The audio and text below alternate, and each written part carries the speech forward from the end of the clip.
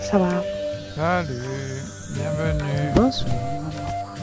C'est ton de- dernier travail? Oui, c'est la dernière exposition. On m'a laissé toute l'île pour faire l'installation. Oui. Donc ça va rester deux mois. Un moment que je, je fais une photo.